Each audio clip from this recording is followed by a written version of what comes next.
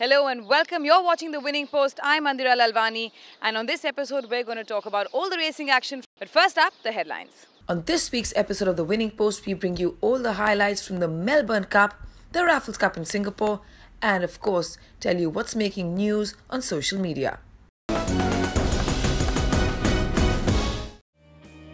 The Melbourne Cup is Australia's most prestigious annual thoroughbred horse race. It is the richest two mile handicap in the world and one of the richest turf races conducted by the Victoria Racing Club on the Flemington Racecourse as part of the Spring Carnival in Melbourne. It's a 3,200 metre race for three year olds and over, and thoroughbreds from all around the world participate. This year's renewal of the Emirates Melbourne Cup had 24 horses to battle it out for a stake of $6.2 million and to cement their names in history. Heartbreak City, trained by Tony Martin, was coming into this race on the back of three wins in the Tipperary races. That is Maiden Hurdle on the 26th of May, the Guinness Handicap Hurdle on the 29th of July, and the Betfred Ebor Heritage Handicap over 2,816 metres at York on the 20th of August, and would be looking for yet another win with Joe Moreira partnering him. Hartnell, trained by John O'Shea, many believed was equal or superior to win leading into the Cox Plate. That may have seemed fanciful, but it was impossible to ignore his form for this preparation. A deserved favourite who was a big chance of giving Godolphin their first Melbourne Cup with James McDonald in the saddle. A lightly raced seven year old Monsun gelding, Almandin, trained by the Williams private trainer Robert Hickmott at Macedon, was having just his 12th start after an injury interrupted career. He came into the race after winning the Group 3, the Bart Cummings over 2,500 metres at Flemington back on the 2nd of October, carrying 55 kilos under Damien Oliver and would now have the services of Kerrin McEvoy. Big Orange, trained by Michael Bell and ridden by Jamie Spencer, was fifth last year with 55.5 kilos. It was a must for him to carry the additional weight this year and improve four places. The distance was not a problem as he came off a victory of the 3,219 metres in the Group 2 Goodwood Cup on the 28th of July. The four year old colt Exospheric, now trained by Lee and Anthony Freedman, ran third in the Caulfield Cup over 2,400 metres and would have the services of Damien Oliver. Anthony Freedman and Oliver have won eight Melbourne Cups together and were definitely hoping to get the ninth with Exospheric. Jameka from Ciaron Maher's yard was last year's Crown Oaks winner and was relishing spring racing once again. She was dominant in the Caulfield Cup after a strong second to Hartnell in the Turnbull Stakes. She had been near the top of the market for a while now and would have Nicholas Hall guiding her past the post. They're set for the Melbourne Cup. Racing Hartnell jumped well in the middle of the line with Exospheric and Oceanographer. Secret number jumped okay, showing some speed as Big Orange down towards the inside ahead of Jameka and Pentathlon. Rosa Virginia's pretty prominent as well. Now from the outside, Wicklow Brave, well Frankie's staying a very deep run, virtually on his own, right out wide on the course. Up there too is a sign. Curren Mirotic's come over for Tommy Berry, actually ran to the lead. Excess knowledge is there as well, and Kiwi is getting into a place just behind the leading bunch of horses.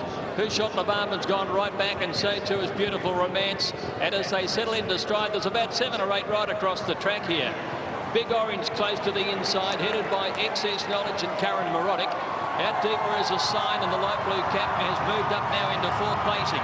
So down to the judge, Excess Knowledge on the outside, narrowly from Curren Mirotic, a sign and then Big Orange, Wicklow Brave trapped out wide, followed by Grey Lion just in behind them with Rosa Virginia and Kiwi three wide turning out of the straight. Jameka about four pairs back on the inside from Our Ivanhowe. Then came Secret Number, followed by Gallant midfield on the inside. Hartnell's next on the outside of Oceanographer.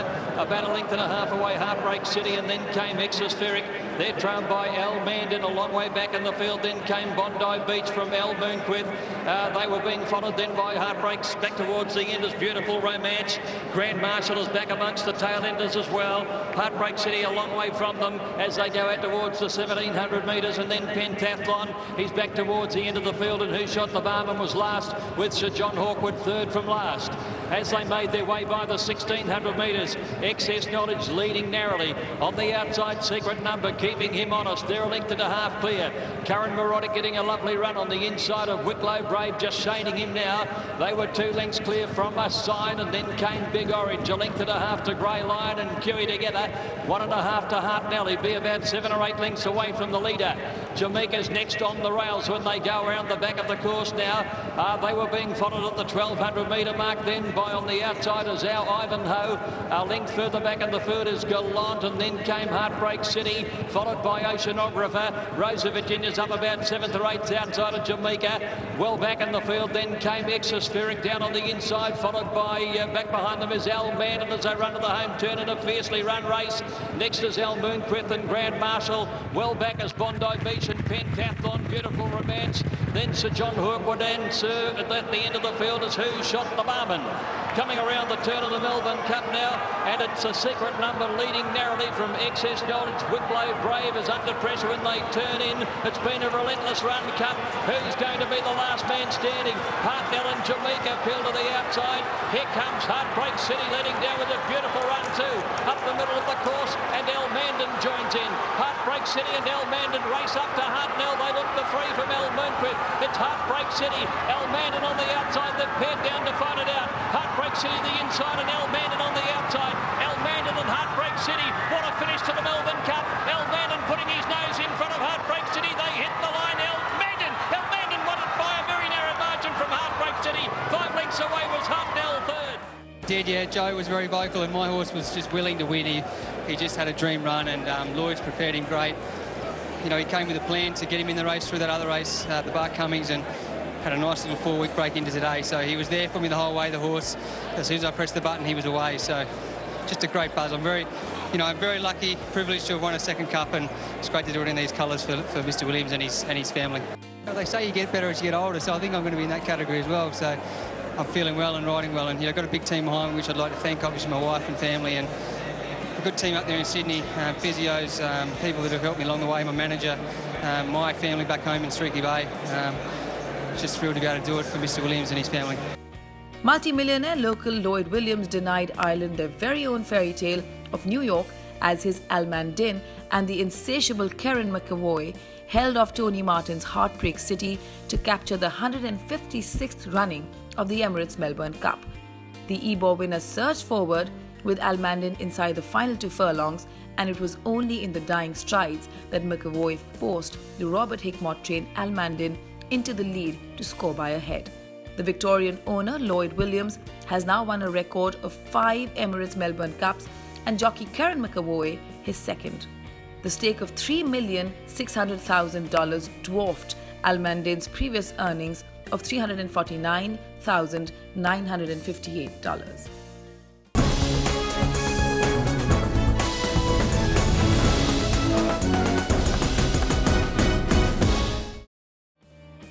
The Raffles Cup was inaugurated in 1991 at the Bukit Timah Racecourse and raced there through 1999 when the tracks closed to be replaced by the new Kranji Racecourse.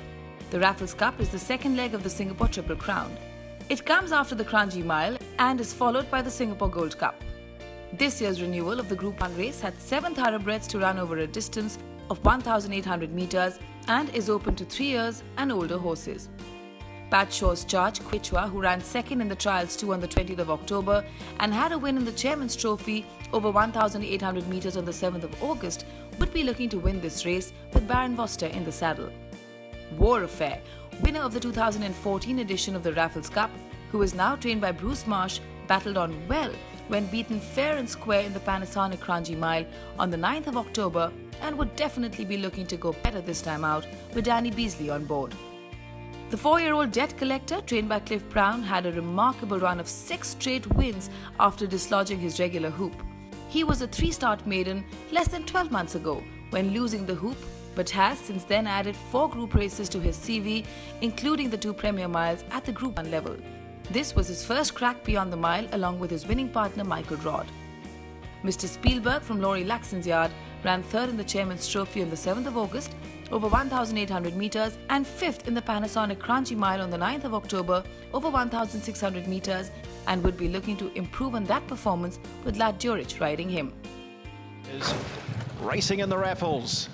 Majestic Moments and also Keshwa begin well. Titanium's relatively handy today. He's moving up on the outside with his rider looking around, but he's up on the pace. We don't see this too uh, much from Titanium, but he's going to amble to the front by the looks of things.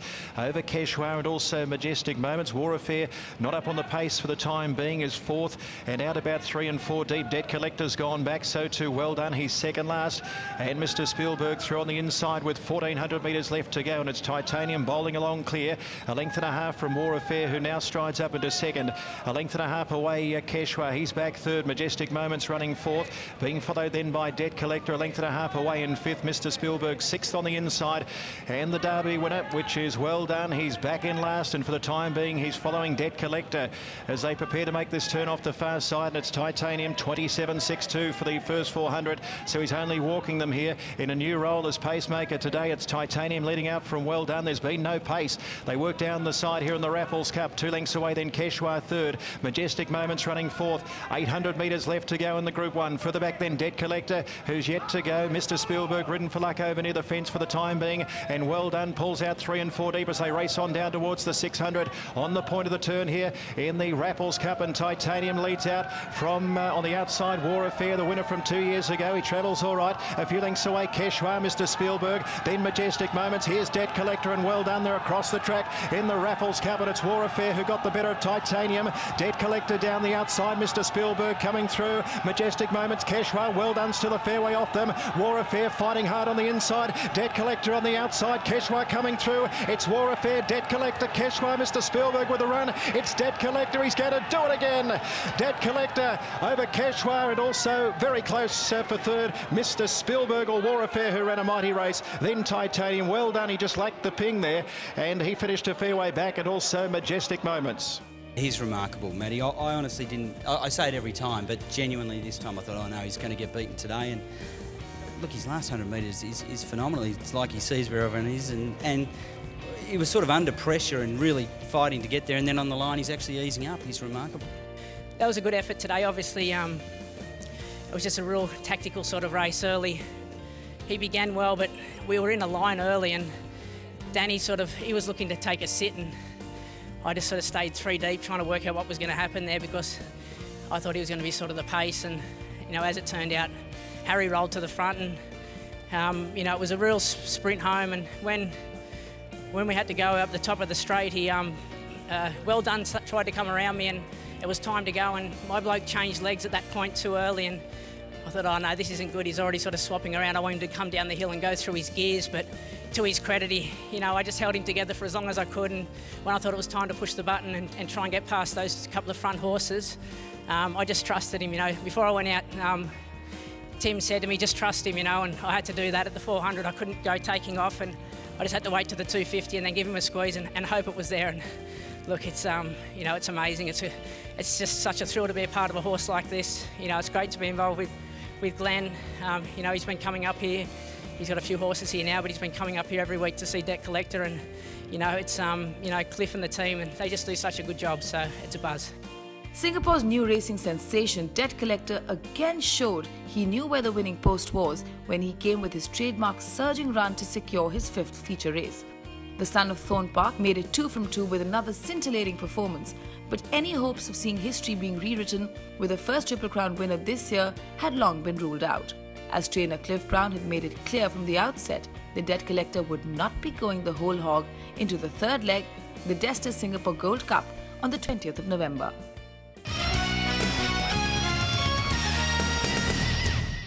Now I'd like to invite uh, Mr. Lim Jubun to present the prizes for the Raffles Cup of 2016, won brilliantly by Debt Collector from Barry Stable, Glen Whittenbury. A stellar season from a debt collector, which includes a Guineas, a Kranji Mile, and now Raffles Cup. And from all reports, that's it for 2016. He'll be tipped out for a spell by uh, this man, the winning trainer, his fifth Group 1 of 2016, Cliff Brown.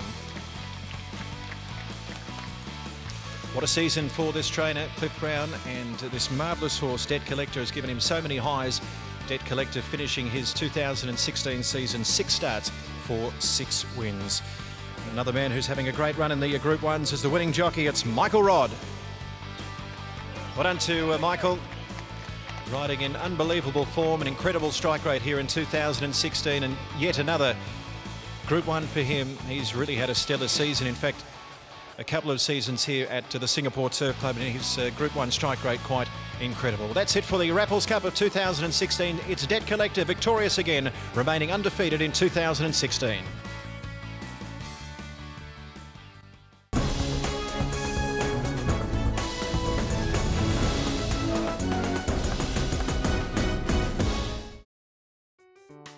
The sire list, based on monetary figures for 2016 for Great Britain, has Galileo on top, who has earned 7,793,733 pounds from 67 wins, with Minding being the best performer, earning more than one and a half million pounds.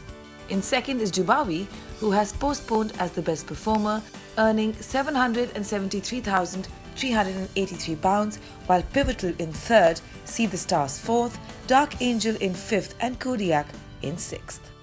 In the winners list, it was Kodiac on top with 81 wins, while he was sixth in the monetary list. Dark Angel was second with 80 wins, while Acclamation was in third, Exceed and Excel in fourth with 77 wins, Kyllachy in fifth with 66 wins, and Dubawi in sixth with 63.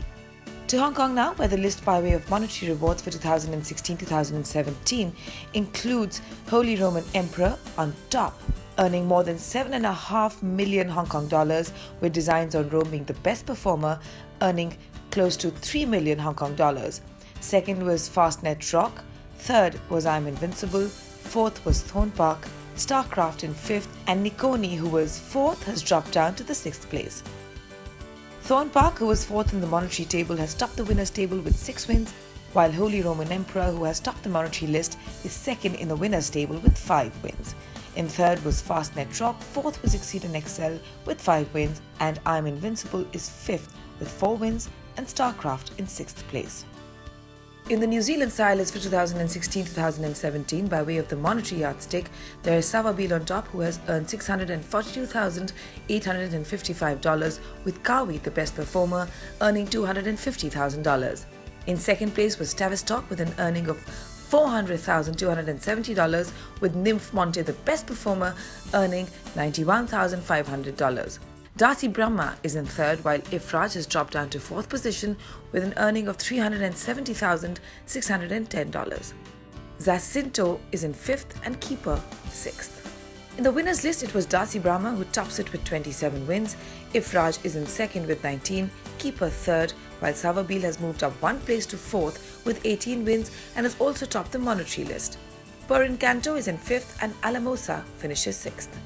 And finally, it's the Singapore Sire list. For the monetary list for 2016-2017 are Darci Brahma, who tops the monetary table with close to $2 million with Majestic Moments as the best performer, earning over half a million dollars. Thorn Park second with earnings of $1,628,730 with Debt Collector as the best performer, earning $1,348,096. Falkirk in third, Elusive City fourth, Showcasing in fifth, and Tavistock in sixth.